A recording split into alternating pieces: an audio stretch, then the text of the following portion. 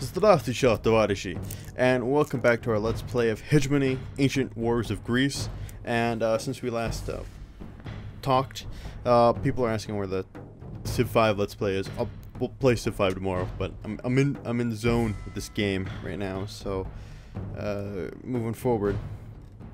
But yeah, uh, so anyway, since we last talked, uh, I took these two cities completely annihilating these guys whose names I can't remember, and history won't remember their names either.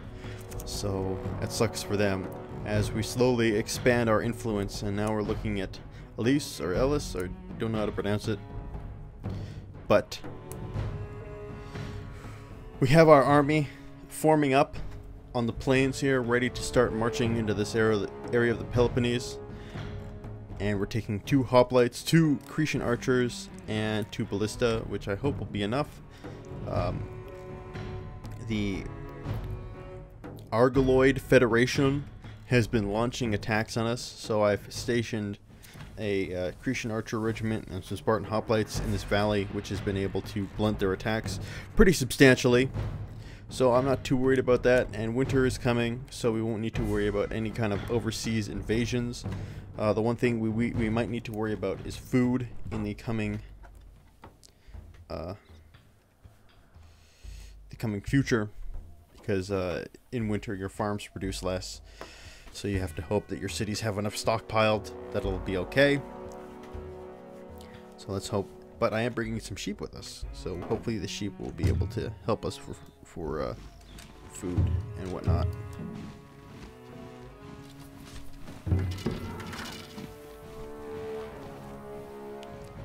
Unfortunately, this place is losing out on uh, its food supplies.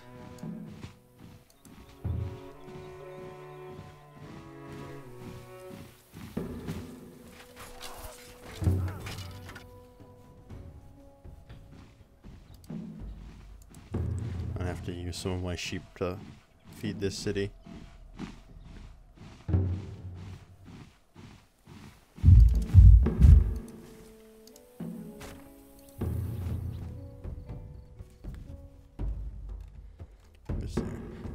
Many cities. I think this will be a pretty easy conquest. I'm not worried about this one.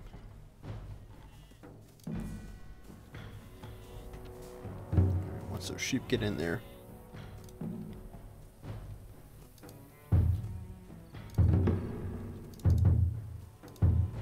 Pressing the wrong buttons. Anyway. The sheep will return to the army.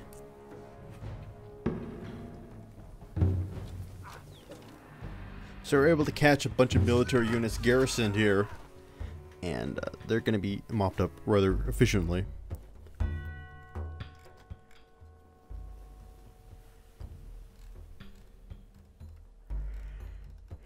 Man. Long weekend coming up. Pretty stoked. BC Day. Which is, I guess, the equivalence of Canada Day, our Independence Day for the province of BC. Very exciting. And I think, yeah, I've already told you guys I'll be spending some of that in America, going to see Blue Jays game. Also very exciting. Oh crap, on a stick. I forgot.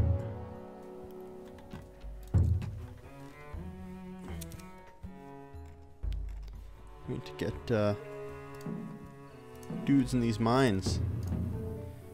Fortunately, it looks like some uh, slaves have been transfer transferred over to us. So that's good. Means we need less workers. And that, in turn, saves us money.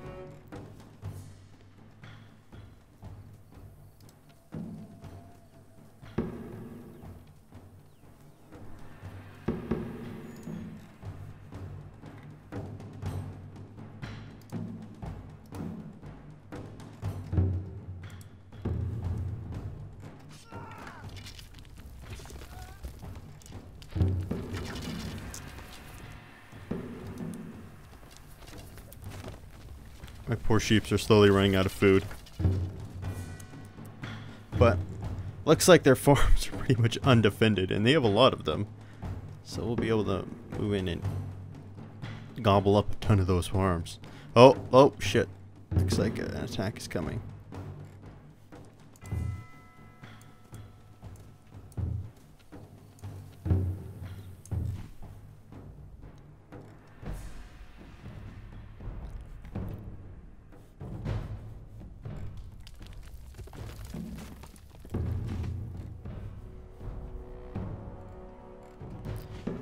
They be attacking um, whoever these guys? The Ach- Achaean League. Are they going to be attacking Sparta? Which seems silly. Because the Achaean League is probably in a much crappier shape than we are.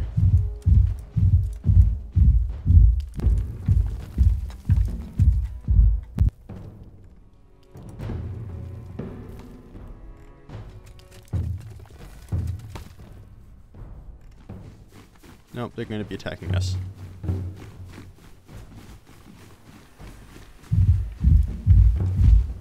No, no!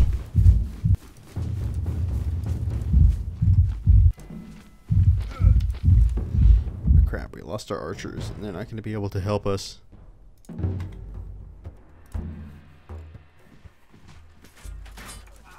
Well, let's hope the Spartan hoplites can show their mettle. I'll bring some reinforcements from Sparta itself, but it's doubtful they will make it in time.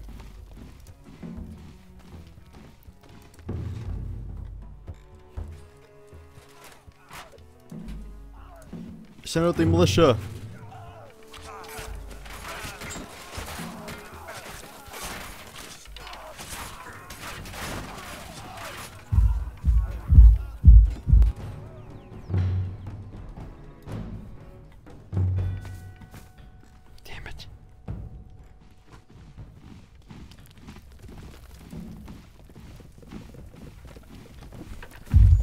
Like the animations of the sheep.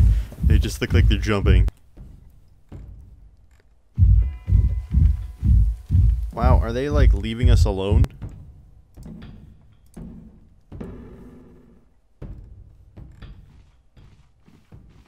They're- They're not even bothering to capture the city. Well, that's kind of silly.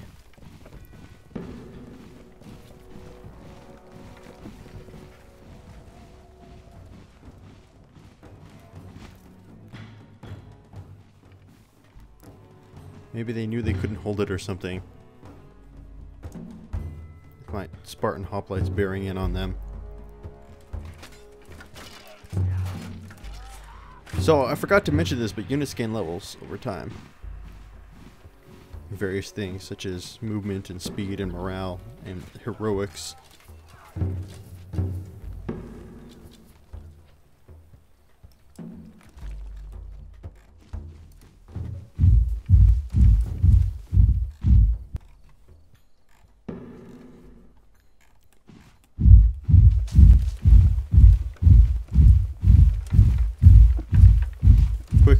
Hoplites forward. Okay, good. They'll defend the archers.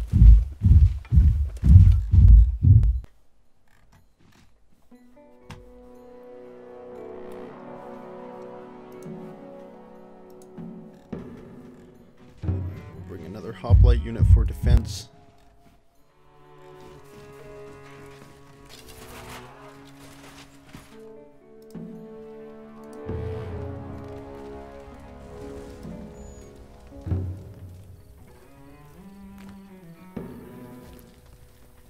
City might run out of food. Oh wait, no, never mind. They'll be fine.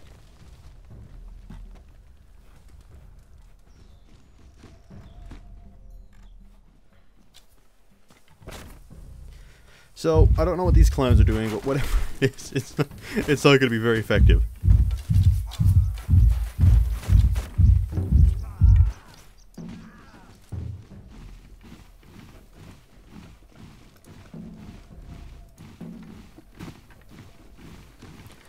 we are marching straight to their capital.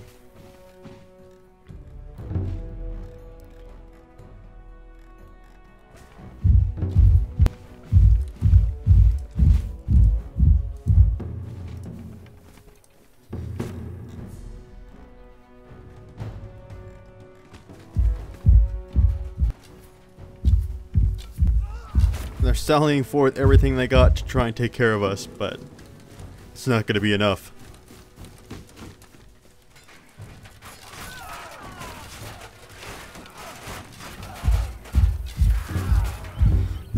Elysian army just gets completely massacred.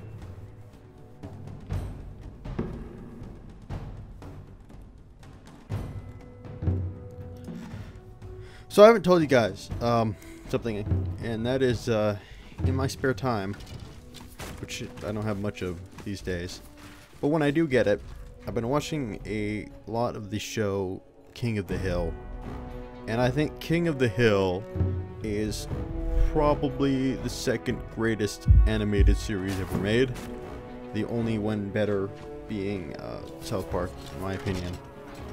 You can't really argue that like South Park is probably the funniest and most clever animated series ever created, but King of the Hill for me is, is up there, and it's like uh, when I was a kid, uh, I I guess I never got it.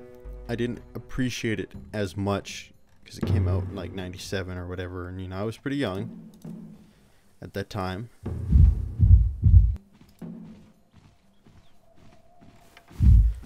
And uh, I just didn't like. I, I I still liked the show, but you know, it never really was better for me than like The Simpsons or something. I always thought, you know, like The Simpsons was infinitely better. no, uh, I didn't start appreciating it until I started rewatching it uh, relatively recently. And now, as an adult, a lot of the humor and jokes that they make in the show make so much more sense. I realized just like how funny it really is and how subtle uh, the show can be sometimes. Like uh, one of my favorite episodes, uh, as far as um, one where it takes place during the Bush Gore election in 2000. And uh, Hank is obviously, uh, well, Hank's Texan so, if, well, if you don't know the premise of the show, it kind of takes place um, in Texas, and it's kind of the story of a conservative family, uh, you know, blue collar Republican type of family with.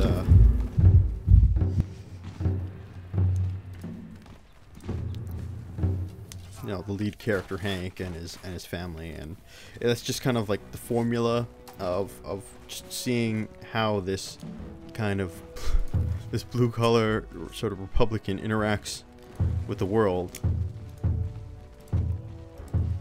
And it's a really compelling formula. you know, it propelled the series for fuck, what was it, 13 seasons or something like that? So whatever whatever they were doing, it's oh Jesus Christ. Oh, that just means it's out of food. Oh, pish posh, will be fine. They'll find food somewhere.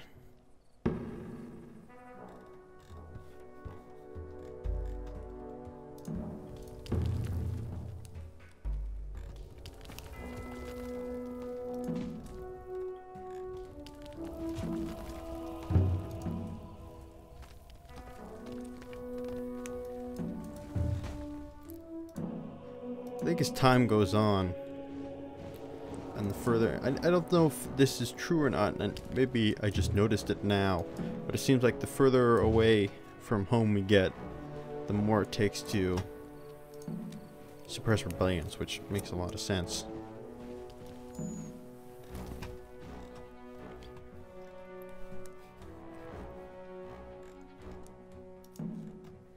Just kind of hoping move this hoplite division to Argos. Is that Argos? Or no, sorry. Knossos. And hopes that this will alleviate the food pressure on the city. And uh, it'll be able to get some food in. In fact, here's what I can do too. You can have uh,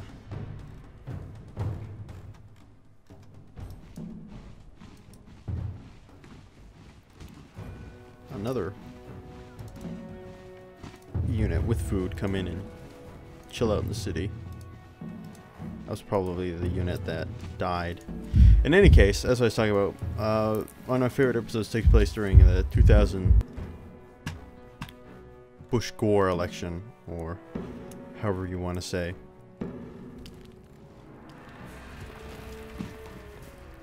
Okay, well that put out one fire and created another.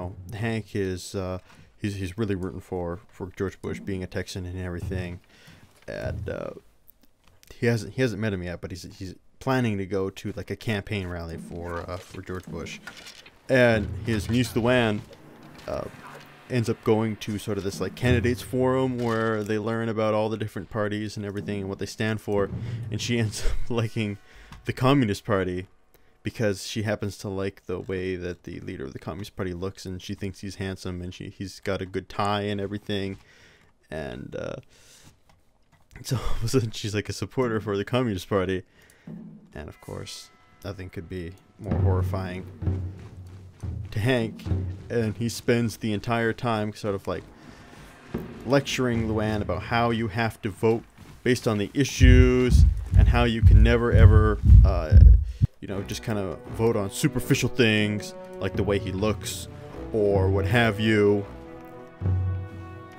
So he ends up taking Luann to see a Bush uh, campaign rally and ends up meeting uh, Governor Bush and shaking his hand. And George Bush has like a limp handshake. And this terrified, this like sends Hank into this abysmal state where he's questioning everything. He's questioning whether or not, you know, I can actually vote for this guy. Whether or not this is uh, this is, uh, you know, what am I gonna do? Because he thinks that if he votes for president with a weak handshake, you know, like like third world dictators are gonna walk all over him. But uh, the thing to me that is so genius about that episode is that everybody seems to think that it's like play like it's a commentary on how important it is to vote. That's not what it is at all. It's uh sort of an ironic statement about how hypocritical some people can be and how like silly some people can be because like what could be less substantial than how a guy know, has his handshake. Just because he has a weak shake doesn't mean he doesn't have a good monetary policy or foreign policy or you know healthcare policy or anything else. But Hank, after lecturing Luann about how terrible it is to uh, be voting on super superficial issues, ends up being completely totally distraught about one of the most superficial issues you can think about, and uh, I, I just I just love that episode for its like irony, and I also like the fact that like not a lot of people seem to get it. Wow, they're hammering me hard. Fuck.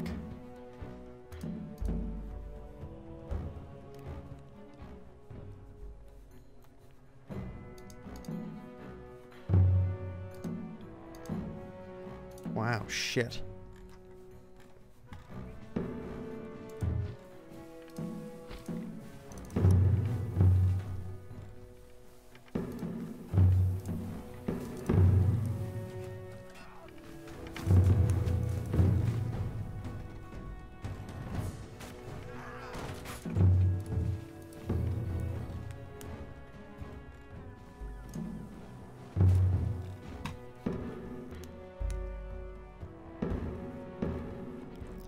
Wow, there, never mind. There's two different uh, alliances attacking me right now. That's fucked up, man. Well, at least one backed off.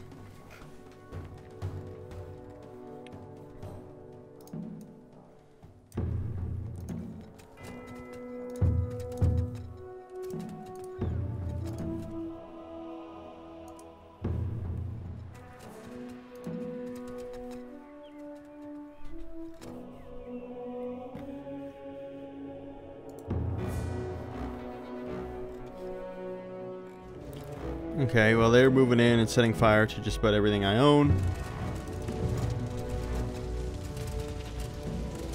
Which is certainly not good for this area.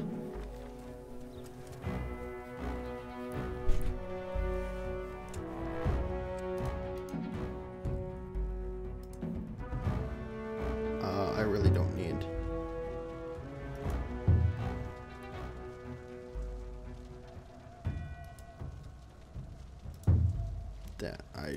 Rather Spin that on a hoplite division.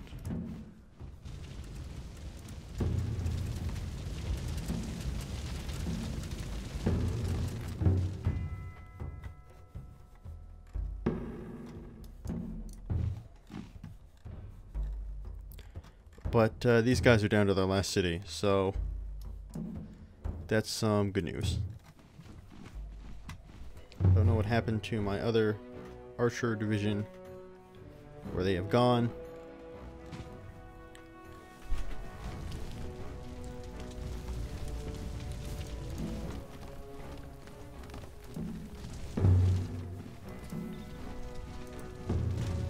But that's not good.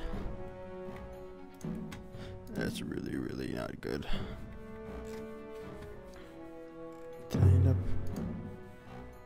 Wow, it looks like I lost an archer division and I didn't even know it.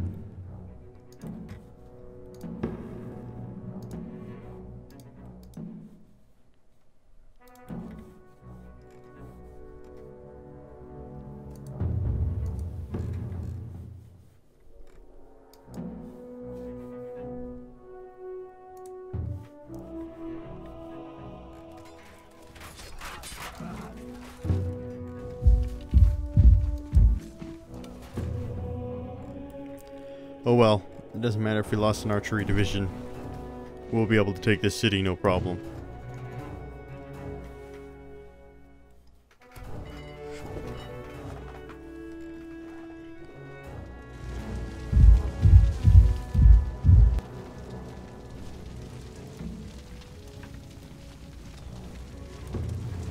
Okay, we're gonna have to extinguish some of these fires. Things are not looking good.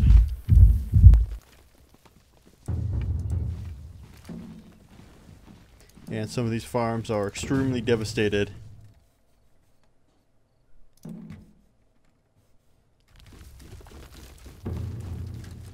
Which is really not a position you want to be in. But I think we'll hold on to these cities. These hoplites have enough food on them to share it with the city and it will be okay. That was quite a devastating attack. Two pronged attack came in. I'm just lucky they weren't able to take any cities.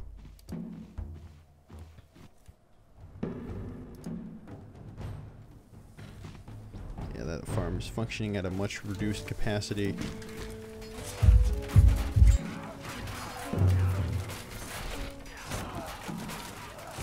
Oh, crap. Nope, nope. We were able to save them.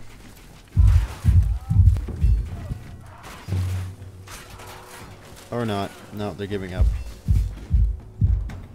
That's just great.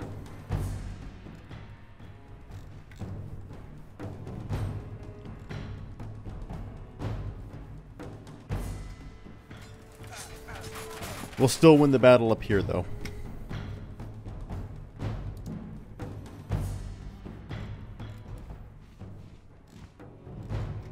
And we'll have two more archery units ready to be shipped out. But I'm, I'm actually we might not have to battle up here.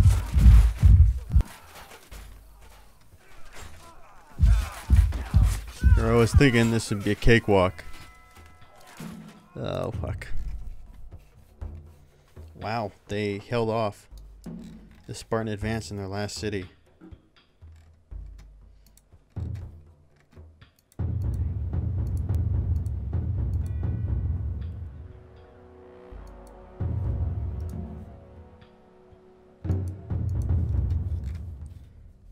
Telling me they can't sail up here? Is the water too rough or something?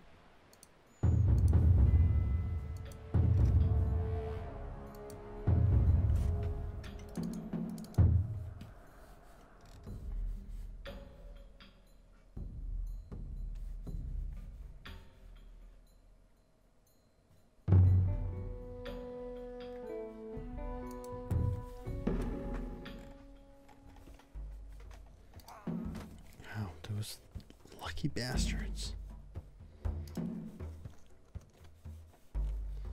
I might just hold on for another season.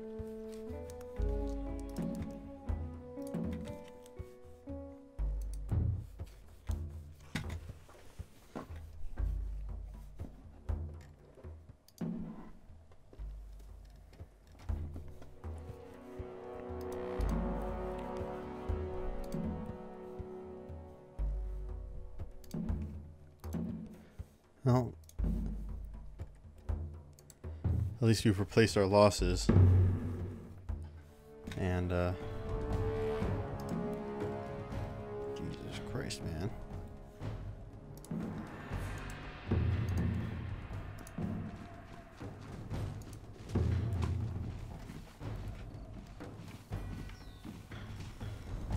Crete is running low on food.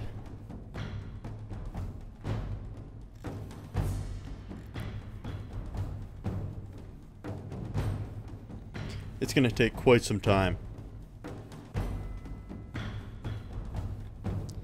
before a lot of these units get into position. Oh, fuck. Fortunately, it's only two.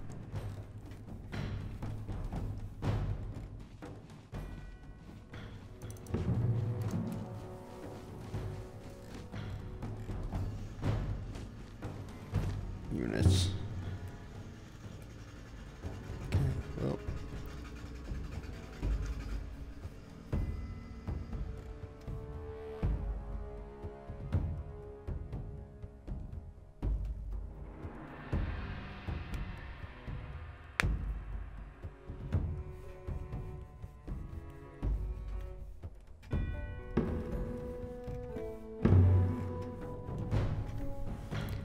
Had to think about how I'm going to plan my strategies.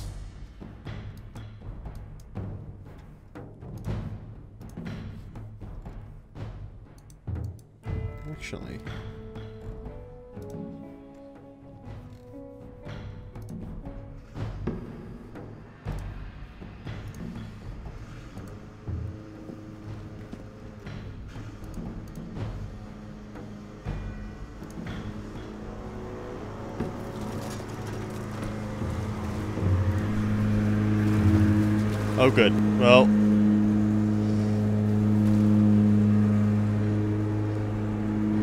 Dad has decided that mowing the lawn would be a oh, a fantastic idea right now. Not so much fun for me.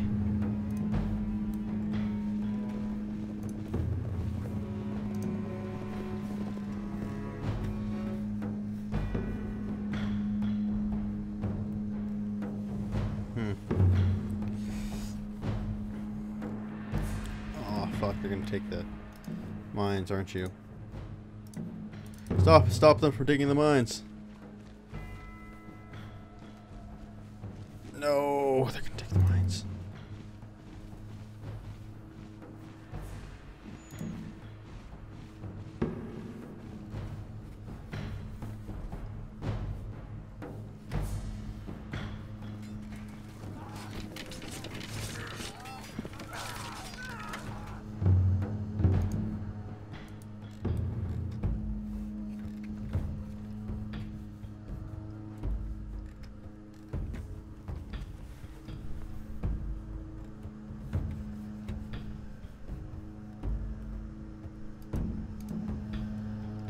Gonna increase the stockpiles on this if I can. Mainly because